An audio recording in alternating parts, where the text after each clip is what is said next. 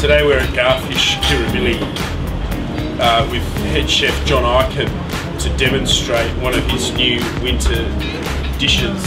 Uh, grilled sardines with shaved fennel rocket salad and a green chili salsa. Pretty straightforward with the basic salad component.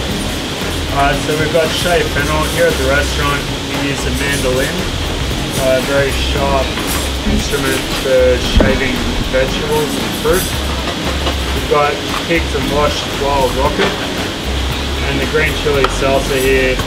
Capers, anchovies, eschalots, garlic and lemon juice just to season. And olive oil, yeah? And olive oil, yeah.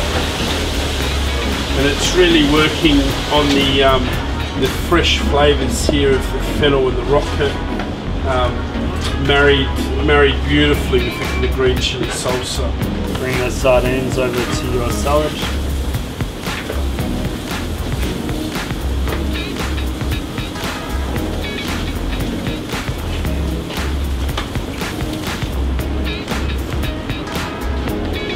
Just arrange them like so. And to finish, more of the salsa on top.